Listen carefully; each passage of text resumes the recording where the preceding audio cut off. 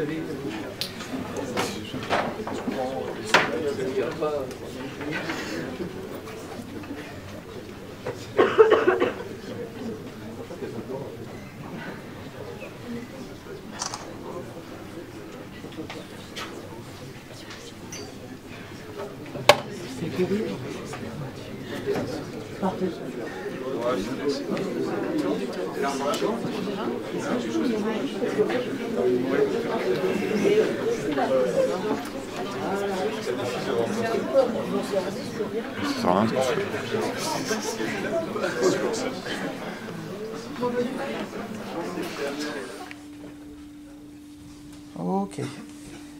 Bienvenue tout le monde pour ce, quart d'heure insolite. Donc pour ceux qui ne connaissent pas le, le, principe, donc ce sont des conférences que je donne régulièrement euh, ici. Euh, je regarde si les gens font dans la caméra. Personne ne dans la caméra. Et je serais beaucoup plus tranquille si du coup vous décalez de 30 cm, parce que là j'ai trop peur que je joue dans la caméra. Et ça va me, ça va me crisper quoi. Merci. Donc euh, c'est des conférences euh, que je donne trois fois par, par semestre et qui, qui, sont captées. Donc il y a une caméra ici, j'ai un, micro. Et euh, qui seront mises sur, sur YouTube après un peu de, un peu de montage. Donc vous pourrez re-regarder éventuellement cette conférence plus tard sur YouTube dans, une semaine ou deux et la conseiller à vos, à vos amis ou à vos ennemis selon si vous avez aimé ou pas la conférence. Euh, l'illustration ici, alors il y a une affiche qui a été faite. Alors euh, cette année, je ne l'ai pas imprimée pour diverses euh, raisons. Une des raisons, c'est la, sobriété, mais elle existe. Et en tout cas, un dessin a été fait par Clément Fabre, qui est dessinateur de bande dessinée et qui me fait le plaisir depuis quelques années d'illustrer les affiches du quart d'heure insolite. Et donc il a encore, c'est lui qui a fait, ce, dessin qui est encore très chouette. Et enfin, euh, quart d'heure insolite, ça va durer plus d'un quart d'heure. Ça, va durer à peu près trois quarts d'heure. Je vous le dis, hein, non mais voilà, à 45 ça sera fini, mais, pas, probablement pas, avant. Et je ne me suis pas présenté. Vous je veux parler, vous ne savez même pas qui je suis. Donc je suis Richard Taillé, je suis enseignant-chercheur en physique ici à l'université euh, Savoie. Je remercie au passage la bibliothèque universitaire pour son accueil euh, pour avoir installé euh, notamment la conférence euh, ici et puis me permettre de faire ça euh, à cet endroit-là qui est toujours, toujours bien agréable. Alors, le, thème d'aujourd'hui, je vais vous parler de, au centre le soleil. Alors, pour ceux qui ont vu juste l'annonce, ça ne veut peut-être pas dire grand-chose, c'est un petit peu le but aussi. Ah oui, il y a un but que je n'ai pas dit dans ces conférences. Je vais vous parler de, choses en rapport à la science. Et un des buts, c'est non seulement de vous intéresser, mais de vous frustrer aussi. C'est-à-dire que ben voilà, c'est comme ça. J'espère que vous repartirez avec des questions auxquelles je ne répondrai pas. Donc déjà, le titre c'en est un, une question, est une question, au centre le soleil. Je vais vous parler en fait d'héliocentrisme, c'est-à-dire le, fait que les théories qui disent que la Terre, le soleil, pardon, est au centre de, du système solaire, de l'univers. On verra justement, c'est euh, une partie importante de la question. Euh, alors ça, c'était juste pour illustrer le fait que c'était le 26e quart d'heure insolite. Les 25 autres, voilà les affiches et vous les trouverez sur YouTube si ça vous intéresse. Et euh, en particulier, il y en a un que, je vais mentionner plus spécialement. Celui-ci qui était en, 2000, euh, en 2015, ça ne nous rajeunit pas, qui s'appelait C'est votre dernier mot. Et il est un petit peu en relation avec celui d'aujourd'hui. On va dire que le quart d'heure d'insolite d'aujourd'hui, c'est un peu une... Je, rebondis sur ce que j'avais fait en décembre 2015 et euh, à cette occasion-là, j'avais pris l'extrait d'une émission de télé qui, est, qui, veut gagner des millions. Et il y avait une question, c'était euh, qu'est-ce qui gravite autour de la Terre? La Lune, le Soleil, Mars, Vénus. Et la personne avait répondu le Soleil. Et euh, ça avait fait tout un buzz sur les réseaux sociaux parce qu'il faut vraiment, faut vraiment être débile au XXIe siècle pour penser que blablabla. Et donc j'ai essayé d'expliquer dans ce, dans ce quart d'heure insolite qu'il y avait des manières d'imaginer que cette réponse n'était pas si débile que ça. Depuis, depuis 2015, il s'est passé pas mal de choses pour, pour moi en tout cas. Euh, cette question de l'héliocentrisme et d'histoire des sciences, je m'y suis intéressé beaucoup plus près, notamment pour l'enseigner ici à, l'université. Et donc c'est une version 2.0, on va dire, de, de, cette conférence que je vais vous présenter ici, qui s'appuie de façon beaucoup plus importante sur des sources historiques. il y a un invité, je ne sais pas si tout le monde l'a vu. Il y a un livre ici qui date de 1665, hein, qui appartient au fond de la, de la bibliothèque de, Chambéry, euh, ici, là, du Bourget et j'en dirai euh, deux mots tout à l'heure. C'est un rebelle un peu. On dirait pas comme ça, mais. Alors la question, euh, la, question que se pose le domaine de, la science dont je vais parler aujourd'hui, c'est la cosmologie. C'est la question est la suivante comment rendre compte du mouvement dans le ciel des objets célestes, le Soleil, la Lune, les planètes, les étoiles. En fait, quand on regarde tout ça la nuit, au cours de la nuit ou bien d'une nuit sur l'autre au cours de l'année, on s'aperçoit qu'il y a d'une part des régularités importantes et d'autre part des objets qui s'éloignent de cette régularité.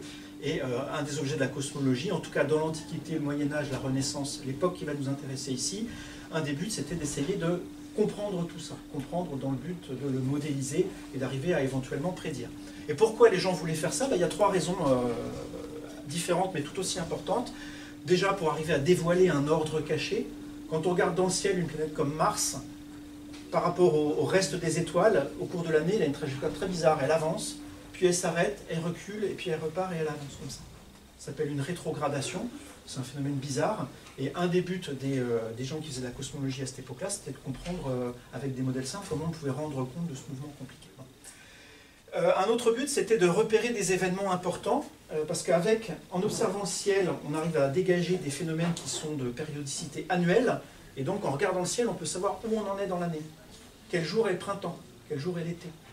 Et ça peut paraître bête, mais ça peut être utile par exemple pour savoir quand planter, quand semer quelque chose. Si on se fie juste au temps qu'il fait, on risque de se tromper parce que si le climat cette année-là n'est pas le même que d'habitude, ben voilà. Alors qu'en regardant les étoiles, on est sûr de savoir quel jour on est dans l'année exactement.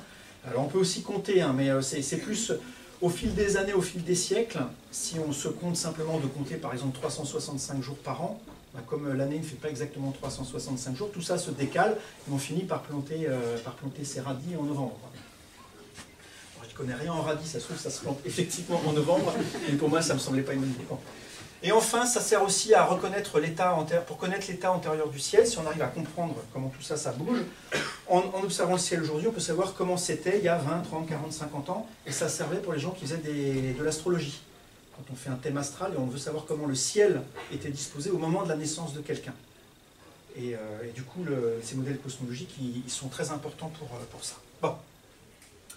Et là, je vous présente une vue d'ensemble. Il y a deux personnages qui vont jouer un rôle important dans ce que je vais vous raconter, Ptolémée et Copernic. Et ce qui est assez remarquable, c'est l'étendue dans le temps de cette histoire. Ça va de, en gros, euh, le premier événement ici dont je vais parler, c'est Ptolémée qui publie un livre qui s'appelle l'Almageste, en, gros vers 150 après Jésus-Christ. Et ça va s'arrêter mon histoire autour de 1540-1600 avec la publication d'un autre livre, De Revolutionibus, le titre est plus complet, mais je vais l'appeler comme ça à partir de maintenant, par Copernic en 1543. Et euh, l'histoire est, d'autant plus compliquée que vous savez que le Moyen Âge, c'est une période un peu complexe hein, du point de vue euh, historique. En particulier ce livre-là dont je vais vous parler juste après, l'Almageste, qui est le, livre en fait qui, euh, qui, établit et qui expose le modèle géocentrique, je reviendrai juste après. Donc ce livre a été écrit en grec par Ptolémée, il a été euh, traduit ensuite du grec en arabe, la version grecque a été perdue, ça a été traduit ensuite de l'arabe au latin, 600 ans plus tard. Euh, les versions arabes, elles n'ont pas été perdues, mais euh, elles n'ont pas été connues tout de suite. Et les gens se sont retrouvés à la sortie du Moyen Âge avec des versions de cet ouvrage qui avaient connu au moins deux traductions successives. Donc ce n'est pas la, façon la plus directe de, connaître la pensée de quelqu'un. Et traditionnellement, on a tendance à marquer la, publication de ce livre de Copernic en 1543 comme le début d'un moment de l'histoire, d'un temps de l'histoire où l'héliocentrisme a fait place au géocentrisme. Ces mots, je ne les ai pas encore définis, mais ça, va venir. Et ce que je veux vous montrer maintenant, que ce n'est pas tout à fait comme ça que ça s'est passé. Alors, je vous ai parlé là de l'épisode arabe, les Arabes qui ont effectivement euh, traduit des ouvrages grecs, notamment celui de Ptolémée. Si ça, ça vous intéresse, cet ouvrage-là, il y en a trois volumes. Le premier euh, est, euh, consacré à l'astronomie théorique et appliquée, Histoire des sciences arabes. Il est à la BU ici, dans le rayon Histoire des sciences, qui est là, au fond. Et c'est vraiment très chouette. C'est plusieurs chercheurs hein, d'histoire des sciences qui explorent chacun un domaine de cette, de cette histoire-là. Et une partie de il y a une partie de l'ouvrage ici qui est consacrée à justement la traduction et la, façon dont a été connue l'œuvre de, Ptolémée dans le monde arabe. ça, je, vais avancer un petit peu. Alors, je vais commencer par vous parler de géocentrisme et de, euh, cette œuvre, l'Almageste, par Ptolémée. Donc, Claude Ptolémée était un grec, il vivait en... Alors, grec, ça veut dire, c'est assez large dans l'Antiquité. Hein. Là, il était en Égypte, en Haute-Égypte. Il travaillait, travaillait là-bas, et donc il a écrit cet ouvrage. Donc là, personne ne comprend parce qu'on ne comprend pas la langue et les caractères eux-mêmes sont durs à comprendre. Euh, mais il a, été traduit, euh, il a été traduit, comme je vous l'ai dit, dans différentes langues. Il y en a une version que vous pourrez lire en anglais, j'en parlerai tout de suite euh, après aussi. Mais en français, c'est plus compliqué à trouver, mais en anglais, vous avez ça, Ptolemy's Almagest. Et alors, que dit, que dit cet ouvrage? Alors, je vais vous en présenter une version extrêmement simpliste, celle qu'on apprend notamment au collège quand on voit tout ça. Et voilà, c'est un, Ptolémée décrit un univers qui est clos, Clos, ça veut dire que vous avez une sphère ici, au-delà de laquelle il n'y a rien. On ne s'intéresse même pas à ce qu'il y a au-delà. L'univers, en fait, c'est l'intérieur de cette sphère. Hein. Ici, c'est vu en 2D, mais c'est une sphère.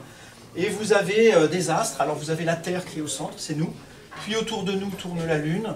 Puis, les planètes, Mercure, Vénus. Le Soleil tourne autour de nous. Et puis, les planètes, Mars, Jupiter et Saturne, qui sont les seules planètes connues à l'époque. Et vous avez enfin, à l'extérieur, une dernière sphère, qui est la sphère céleste, qui contient les étoiles.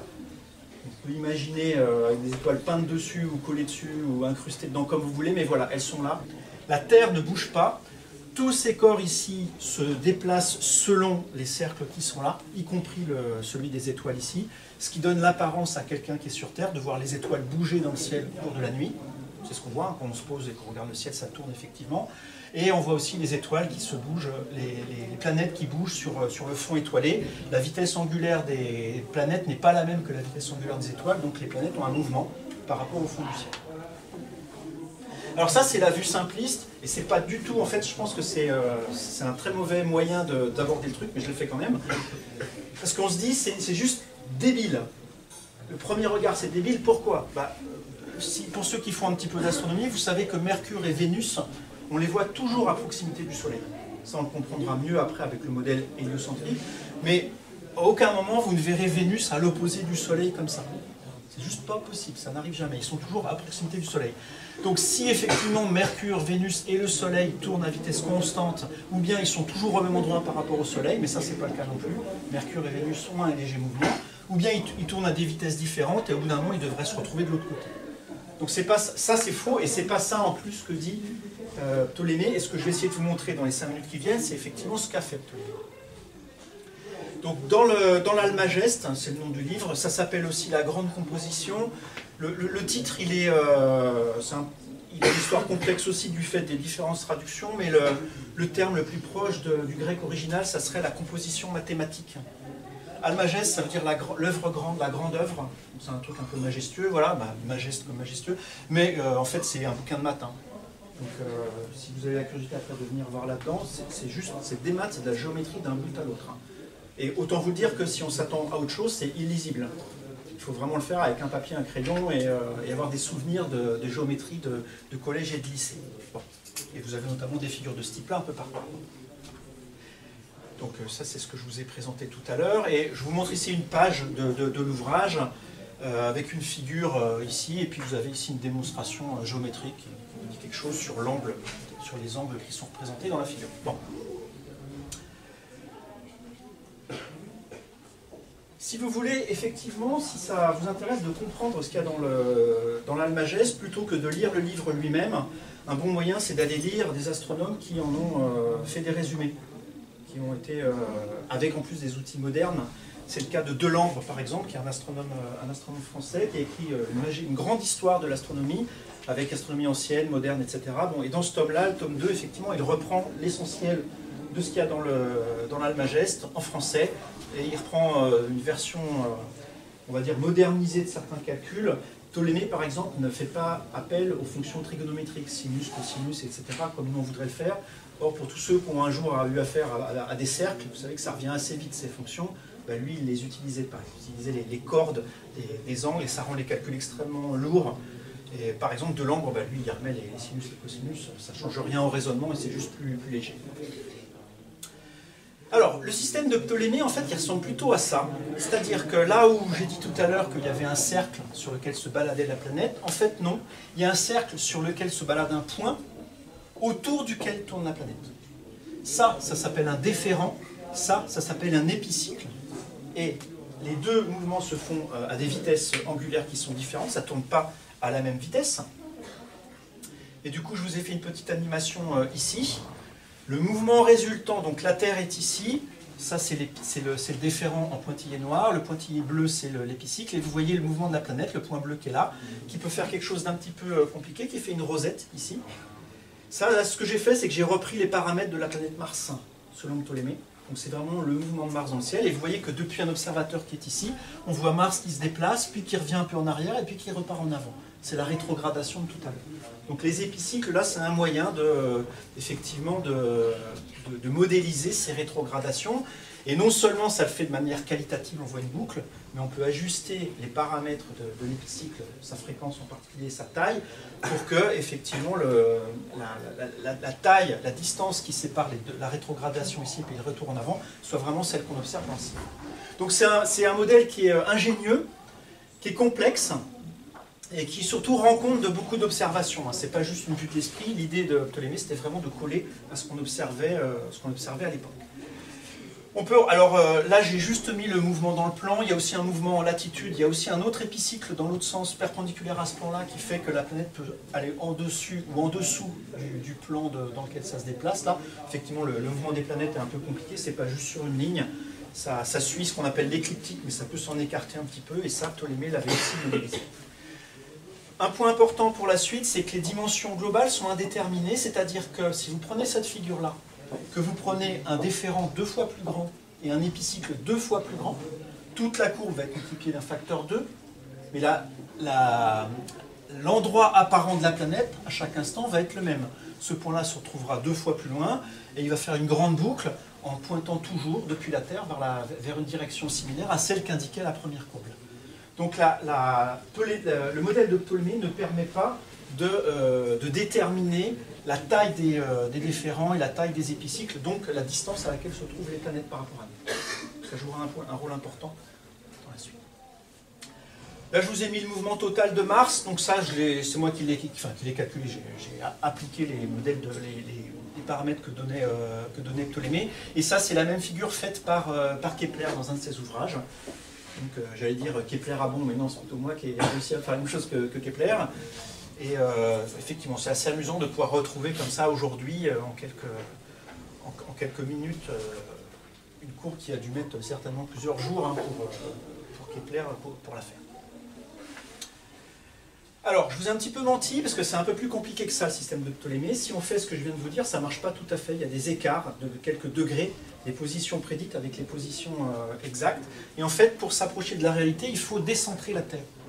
Faut que la Terre, elle soit pas au centre du déférent, mais qu'elle soit un peu à côté.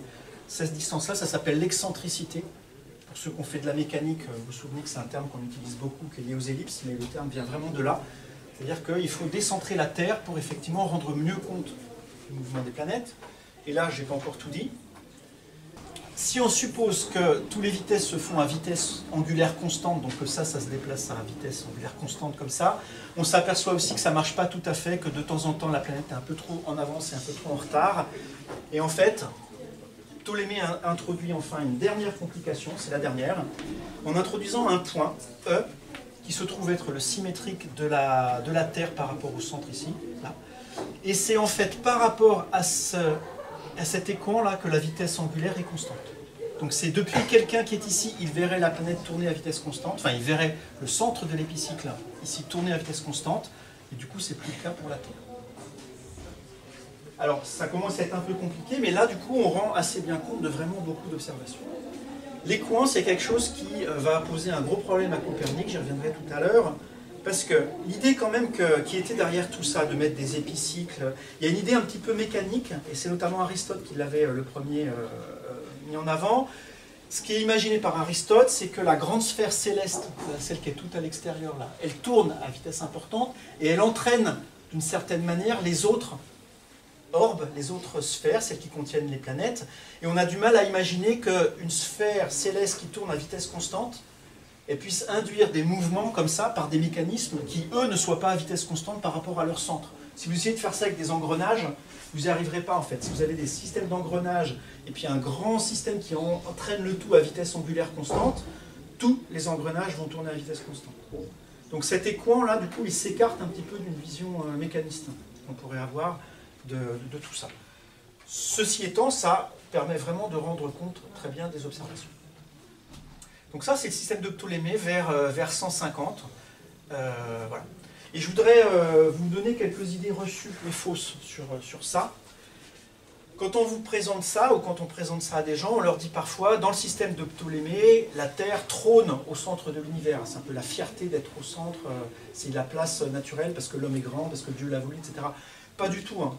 Le centre de la Terre, c'est le dernier endroit où on veut être, c'est les enfers. Hein. Le, le bien, c'est dans le ciel. C'est pas, c'est, pas, c'est pas dans la Terre. Donc le fait que la Terre soit au centre de l'univers, c'est plutôt une punition qu'une bénédiction en fait. Hein.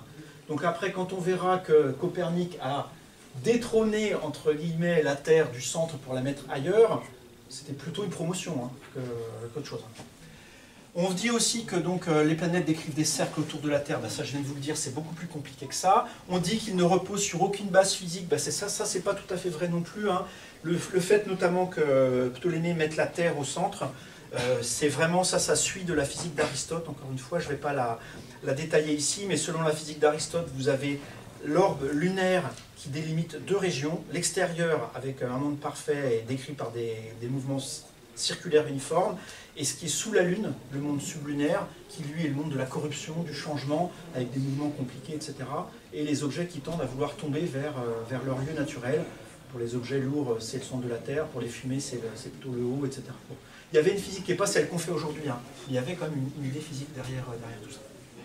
Et enfin, euh, on lit aussi parfois que euh, bah, le modèle de Ptolémée, au fil des observations du Moyen-Âge, on s'est aperçu que ça ne marchait pas. Les gens ont dû ajouter des épicycles sur des épicycles sur des épicycles pour faire un modèle hyper compliqué. Pas du tout. Pas eu ça du tout, il n'y a pas eu de crise et personne n'était même en mesure de calculer des épicycles sur des épicycles sur des épicycles. Aujourd'hui, on a des, calculettes qui font les, calculs. À l'époque, c'était tout fait à la main et ça aurait été juste impossible d'avoir trois niveaux d'épicycles. On n'aurait même pas pu euh, prédire la position des planètes. Et en plus, comme je vous l'ai dit, le travail de Ptolémée a simplement été oublié pendant une grande partie du Moyen Âge. Donc ça, c'est faux aussi.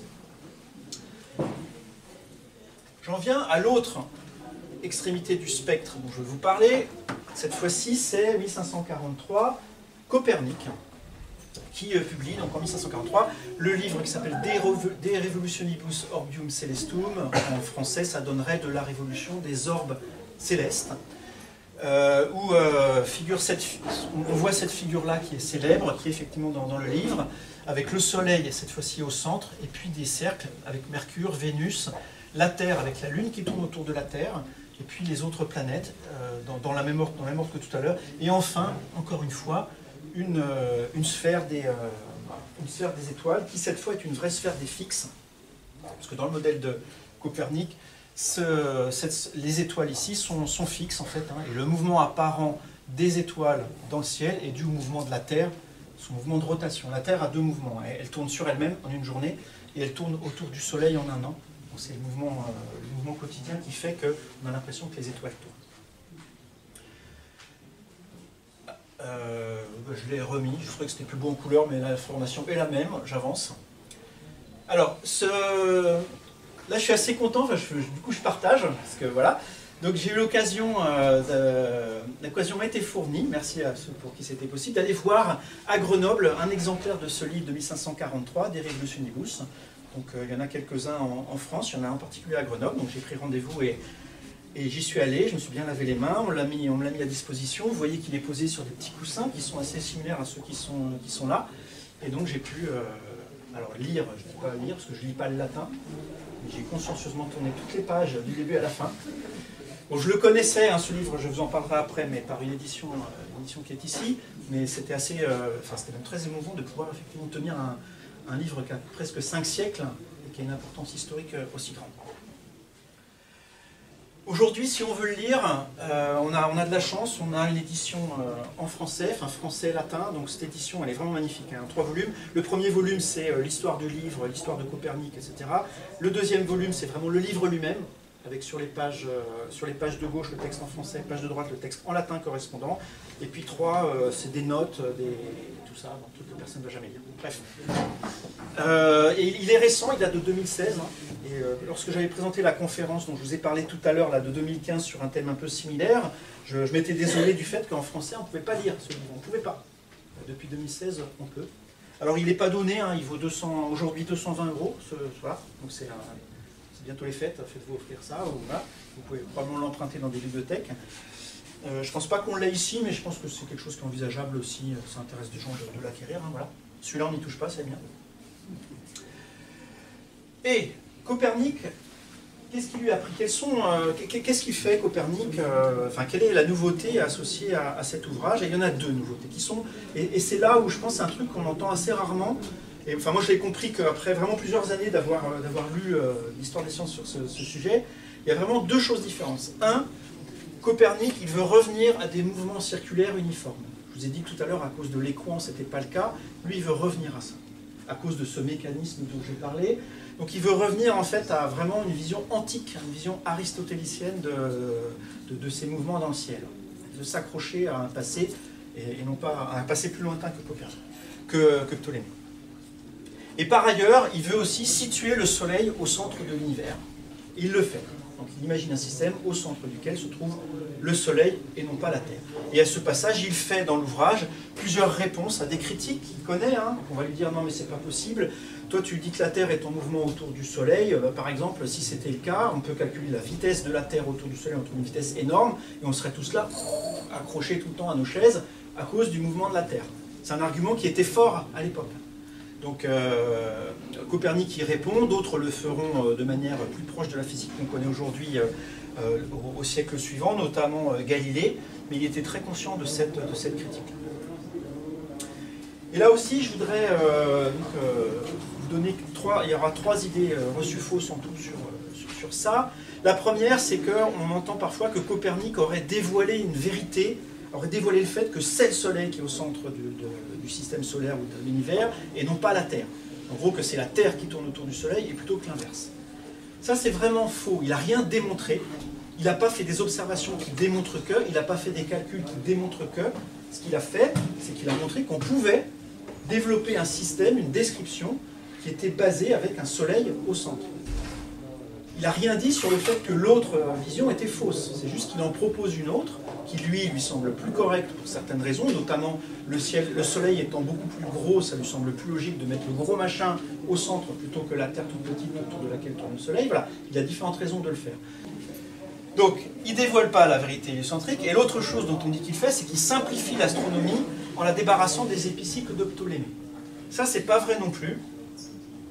Voilà une figure qui est issue du bouquin de, Copernic, et vous voyez effectivement que des épicycles, il y en a aussi. Hein. Là, il y en a du coup deux, il y a un épicycle sur un épicycle. Donc c'est tout aussi compliqué que celui de Ptolémée. Il y a quand même une simplification.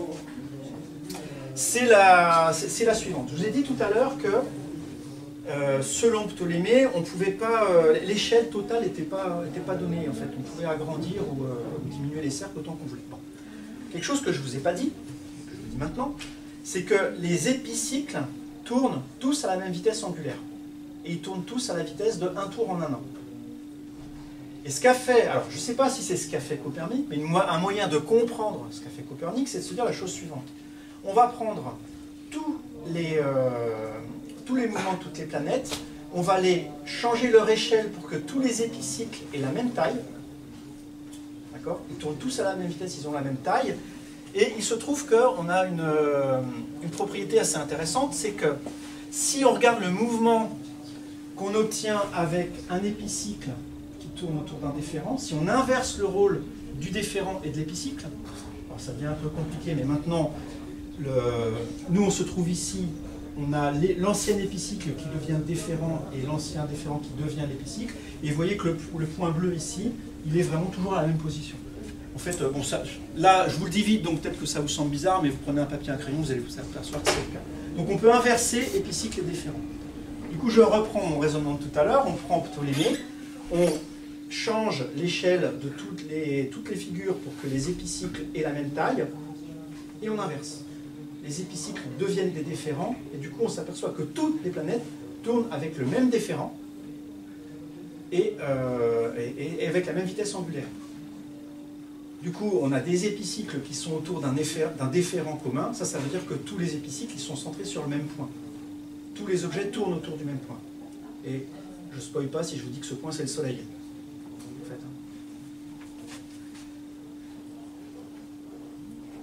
Ok. Euh, là, je voulais vous montrer ça, c'était juste pour vous dire que euh, voilà, Copernic non seulement ne simplifie pas euh, Ptolémée, mais il, y colle beaucoup les, calculs qu'il y a dans, Copernic et même la présentation, elle est extrêmement proche de celle de l'Almagès de Ptolémée.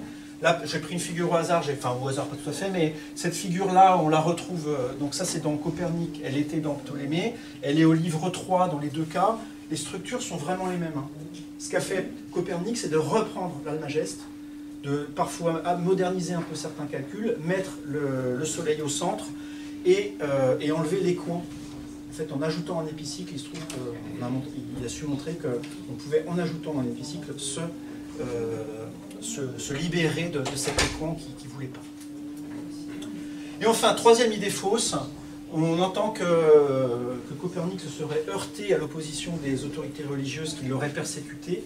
Et ça, c'est pas vrai du tout. Hein. En fait, euh, Copernic, il, était lui-même chanoine. il n'était pas prêtre, hein, il était chanoine. Donc il avait des, des, euh, des responsabilités, on va dire, euh, politiques dans le monde, euh, dans le monde religieux. Il administrait euh, des domaines religieux. Et il meurt au moment de la publication de son ouvrage. Vraiment au moment, c'est-à-dire il reçoit le bouquin et quelques jours, slash semaines plus tard, il, meurt. Je pense pas à cause de la lecture, je ne sais rien, indépendant, mais... Mais en tout cas, et, au moment de le publier, il a plutôt été encouragé à le faire, à publier une nouvelle hypothèse astronomique, et lui n'a pas souffert de, quoi que ce soit du, point de vue des, autorités. Hein. C'est venu un petit peu plus tard, l'opprobre qui a été jeté sur, euh, sur son modèle. Alors, le SWOT de Copernic. Copernic veut déposer un projet et il a besoin de, montrer ses points forts et ses points faibles. Alors, les, points forts, tout d'abord, c'est que j'ai dit que tout à l'heure que certes, il ne simplifiait pas euh, Ptolémée parce qu'il y avait pour Copernic aussi des épicycles partout. J'ai abusé un peu quand même parce que pour Copernic, les épicycles, ils sont vraiment beaucoup plus petits que les différences, c'est-à-dire c'est vraiment des corrections. En gros, le cercle de départ, ça dit à peu près comment ça tourne, et les petits épicycles, ça permet de lisser un peu à droite, à gauche, et de faire des choses qui ressemblent aujourd'hui plus à des ellipses. Hein. Je ne spoil pas non plus en vous disant que les trajectoires sont des ellipses. Euh, avec euh, Copernic, là, on peut déterminer les distances Soleil-planète, l'ordre des planètes notamment, et vraiment leur distance. Euh, parce que ça fixe, ça, fixe l'échelle associée à chacune, des, à chacune des orbites. Et enfin, ça a ouvert la voie à une approche causale. Alors lui, il ne pouvait pas trop le savoir, mais le fait de mettre le Soleil au centre, ça a, permis à d'autres gens d'imaginer que peut-être que si les, planètes tournent autour du Soleil, c'est peut-être parce que c'est à cause du Soleil. Peut-être que le Soleil il a une action sur eux. Ben oui, aujourd'hui, on sait que c'est la gravitation. Et ça, dans le modèle de, Ptolémée, c'était quasiment impossible à arriver à ça. Les points faibles, alors bah, c'est que ça contredit les saintes écritures. Je ne pense pas que ça vous touche beaucoup euh, ici dans l'assistance, mais à l'époque c'était un gros problème.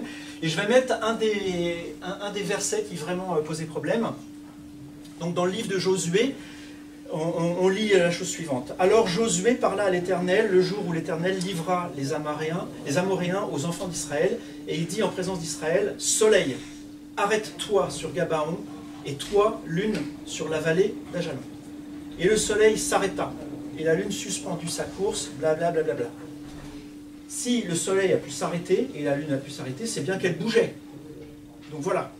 Donc le modèle de Copernic dans lequel le Soleil est fixe est juste en contradiction avec notamment ce, verset. Ça peut vous sembler encore une fois anecdotique et faible, il y a des gens qui sont morts à cause de ça.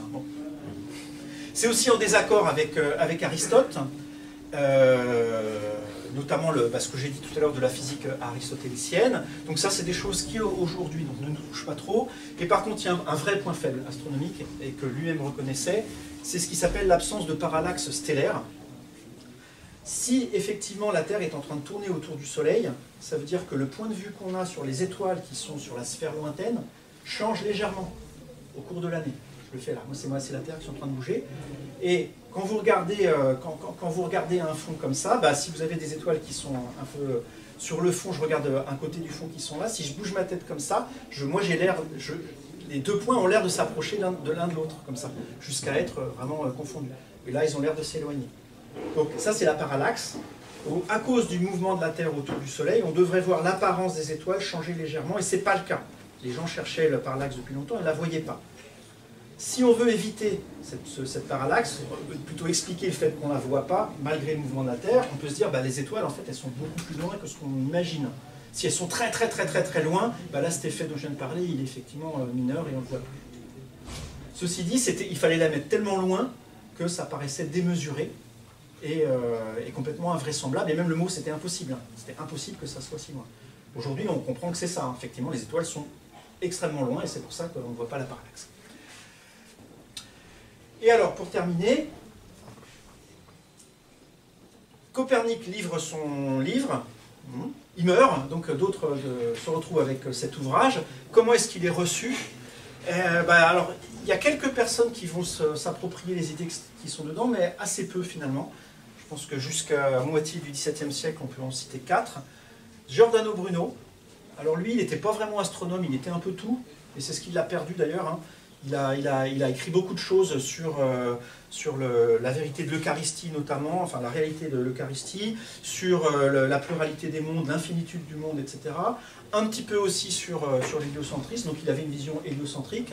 Il a été euh, arrêté, condamné, torturé euh, et bah, condamné à mort en 1600, brûlé sur, sur la place publique. Sur une place publique. Alors on entend parfois qu'il était brûlé à cause de sa vision héliocentrique, c'est pas vrai. Hein. Il y avait une cinquantaine de chefs d'accusation, et dont certains semblaient à l'époque beaucoup plus graves à l'Inquisition que, que celui-là. ensuite, Johannes Kepler, qui est un grand astronome aussi, euh, qui vers 1600 euh, utilise l'héliocentrisme, et lui arrive à montrer que ce sont en fait des ellipses et non pas des, épicycles sur des déférents, mais il a gardé l'idée du Soleil au centre de son système. Galilée aussi, Galilée euh, qui a été convaincu, alors qui était déjà pas mal convaincu par l'héliocentrisme, mais qu'il était encore plus quand il a vu, quand il a observé les satellites de Jupiter. Quand on regarde Jupiter euh, avec une lunette, c'est premier, c'est Galilée qui a fait ça le premier, on voit quatre satellites qui tournent autour, et du coup ça dit que euh, ça dit ça que Jupiter c'est finalement quelque chose comme la Terre avec sa lune. Ben voilà, ou plutôt nous, la Terre, on est comme Jupiter. Donc ça, ça justifie le fait qu'on puisse être nous une planète comme les autres qui tourne autour du Soleil. Et euh, Descartes aussi, mais qui va lui jouer un peu plus petit bras, si on peut dire donc il ne va pas trop publier sur l'héliocentrisme. Ben, il faut dire que Galilée s'est fait condamner, alors lui il n'a pas été torturé, ou, voilà, mais il était euh, assigné à résidence, et du coup Descartes ça l'a un petit peu refroidi, mais en privé, euh, notamment dans, certaines de ses euh, correspondances, il, affiche un, héliocentrisme certain. Et je vais vous parler des autres là. Alors, Tycho Brahe et Riccioli, qui sont pas vraiment des géocentristes, mais des pseudo-géocentriques, attention, il va y avoir une nuance. Ça, c'est le système de Copernic, dont je vous ai parlé. Ce que euh, va faire Tycho Brahe, ce qu'il va imaginer, c'est ça. La nuance est la suivante. La Terre, maintenant le centre est ici. La Terre, on est au centre de l'univers, voilà. On a la Lune qui tourne autour de nous, le Soleil qui tourne autour de la Terre, et toutes les autres planètes qui tournent autour du Soleil. Et ça, c'est rigoureusement équivalent du point de vue cinématique, du point de vue de ce qu'on voit depuis la Terre, au précédent. Il n'y a aucun moyen observationnel de faire la différence entre ça et ça. La seule différence, c'est l'affirmation. Ici, le Soleil se trouve au centre de l'univers, et là, la Terre se trouve au centre de l'univers. Et donc la vraie question, c'est qu'est-ce que ça veut dire être au centre de l'univers? Si cette question ne vous intéresse pas, moi, elle ne m'intéresse pas. Si elle ne vous intéresse pas, les deux systèmes sont vraiment équivalents. Prenez l'un ou l'autre, et vous faites les calculs avec celui qu'on vous propose et vous obtiendrez les mêmes, les mêmes résultats, les mêmes prédictions expérimentales. Alors, toute petite euh, note en bas de page. Donc voilà euh, l'illustration du système de Tycho Brahe euh, faite dans un ouvrage du XVIIe siècle, où ce qui fait la différence quand même, c'est que la sphère ici, céleste, elle est bien centrée sur la, sur la Terre, et non pas sur le Soleil. Donc autour de la Terre tourne la Lune, le Soleil, autour du Soleil, toutes les planètes, et cette sphère des étoiles ici, elle est bien centrée sur la Terre, parce que du coup, comme ça, ça évite le problème de la parallaxe.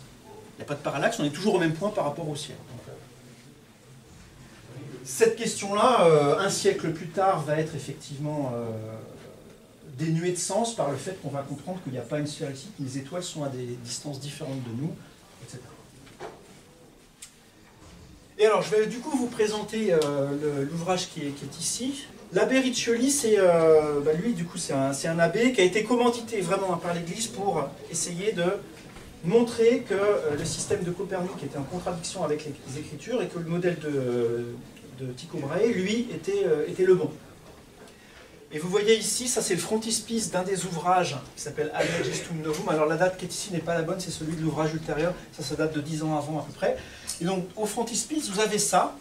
Et vous avez ici le modèle de, euh, de, Copernic. Alors, vous êtes un peu loin, mais il y a le Soleil au centre ici avec les planètes qui tournent autour. La Terre ici avec la Lune qui tourne autour de la Terre. Ça, c'est le modèle de Tycho Brahe, dont je viens de vous parler. Et vous voyez que la balance, elle penche quand même pour le deuxième. C'est ça qu'il veut montrer. Enfin, il ne s'engage pas, hein, c'est ça son, but, c'est de montrer ça. Et vous voyez que là, par terre, euh, presque dans une poubelle, il a posé le modèle de, Ptolémée. Hein. Ça, c'est le modèle de Ptolémée. Donc il n'essaye pas, euh, de revenir à un géocentrisme primaire du tout. Lui, il veut juste montrer que c'est Tycho Brahe qui a raison, plutôt que, Copernic. Et alors du coup, dans le livre, euh, dans le livre qui est ici, Astronomia Reformata, donc ça c'est un ouvrage qui date du coup de 1665, qui appartient au fond, au fond ancien de la librairie de la bibliothèque du Bourget. Et euh, ça, c'est un livre qui a été vraiment beaucoup, euh, beaucoup utilisé par, les astronomes ultérieurs dans, les siècles qui ont suivi, non pas tant pour l'idée que, c'est le Soleil ou la Terre qui est au centre de l'univers, assez rapidement tout le monde s'en fout en fait de ça. Enfin, encore une fois, être au centre de, qu'est-ce que ça veut dire? À partir du moment où on accepte que euh, la physique n'est pas décrite par la physique d'Aristote ou par celle de Newton, je vais revenir juste après, la question de savoir ce qu'on appelle le centre de l'univers, elle n'a vraiment aucun sens en fait. Ce qui est important, ce qui est intéressant et ce qui intéresse les astronomes par contre dans ce livre, c'est qu'il y a tout un tas de tables sur, euh, sur la position euh, dans le ciel des, étoiles. Il y a des, positions des planètes à différentes époques qui ont été revues depuis Ptolémée et depuis Copernic, donc mises à jour. Et il y a la table de toutes les éclipses de Soleil et de Lune qu'on connaît depuis euh, que l'homme écrit. Donc c'est un ouvrage de référence énorme pour ça, pour des données astronomiques. Si quelqu'un veut faire de l'astronomie et raffiner des modèles astronomiques, ben, il va pouvoir utiliser les tables qui sont dans, cette, dans cet ouvrage. Au passage, on revoit, ça c'est la même figure que les deux autres que je vous ai montré tout à l'heure. Je vous ai dit, ouais, elle est dans Copernic, elle est aussi dans Ptolémée, ben, elle est aussi là. Ces gens font la même chose. Et alors, pour terminer, donc euh, un petit, euh, je, balaye rapidement ce qui s'est passé euh, à l'issue de, à l'issue de, la publication de ce bouquin de Copernic. Donc c'est ici, 1543. Avant, il y a eu la condamnation de Luther, c'est le début de, la réforme, le protestantisme commence là, et là, à partir de là, c'est la bagarre. Guerre de religion jusqu'à assez loin. On peut dire euh, jusqu'à à peu près là, hein, les guerres de religion, mais bon. Donc ça commence en tout cas ici. Et euh, pourquoi je vous raconte ça? Bah, Ça joue un rôle important parce que euh, les guerres de religion, c'est des guerres de pouvoir. Euh, les personnes qui euh, ont la religion entre les protestants et les catholiques, qui effectivement dominent le monde, c'est les gens qui vont avoir le pouvoir. bref, donc euh, bah, vous savez tous, il y a des gens, qui sont morts pour ça, et en particulier, si on arrive à montrer, pour les catholiques, montrer que Copernic avait tort, c'était un moyen d'affirmer effectivement le, fait que la Bible, il fallait la lire de manière littérale, ce qui était un des points qui les différenciait des protestants. Donc c'était vraiment un point de bataille important pour eux et pour les catholiques. Et du coup, en, 1616, le euh, De Revolutionnibus est mis à l'index. Alors l'index, euh, c'est pas là. L'index, c'est une liste de livres. C'est l'index de l'Inquisition. C'est une liste de livres qui sont interdits. On n'a pas le droit de les, consulter. Ou euh, plutôt, il faut prendre des précautions. Si, il faut avoir une autorisation spéciale pour, pour le faire.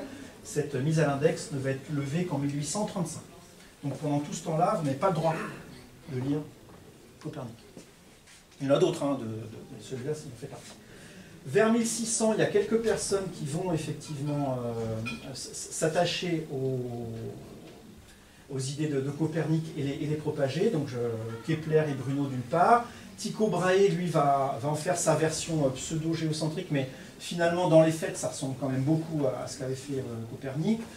Galilée, au début du XVIIe siècle, d'une part, fait ses observations de la Lune, des taches solaires, des, satellites de Jupiter, euh, autant de choses qui montrent qu'effectivement euh, euh, le, modèle de Copernic doit être, est préférable à celui de, Ptolémée. J'ai mis deux flèches parce que ça c'est quand il fait ses découvertes et ça c'est quand il est, est condamné en fait. Il n'a pas le droit d'enseigner l'héliocentrisme. Ça, c'est notre ami Abbé Riccioli qui est ici. Et puis ensuite va venir Newton, qui change complètement la donne, puisque à partir de Newton, on comprend que le système solaire, c'est un ensemble d'objets qui s'attirent gravitationnellement avec une force qui est bien donnée. Et voilà, si on se donne à un instant donné la position des corps, paf, on peut calculer où se trouve chacun. Et, la, vraie révolution, elle est là en fait. C'est-à-dire qu'avec Newton, on arrête de se demander quelle est la forme a priori des trajectoires. On se demande quelles sont les causes, et de ces causes, voilà, on arrive comme ça, euh, euh, par, pas de temps, on va dire, à déterminer d'un instant passé quel est l'état à l'instant futur. Ces causes sont les forces. Et euh, du coup, la question de savoir ce qui est au centre de l'univers, à partir de Newton, elle n'a vraiment aucun intérêt pour personne. J'ai mis deux, dates clés quand même euh, qui, vont un petit peu plus loin dans, ça. En 1729, Bradley euh, découvre le phénomène d'aberration stellaire. L'aberration stellaire, c'est le fait que quand on regarde une étoile, elle fait une petite ellipse au cours de l'année. Toutes, elles font toutes ça.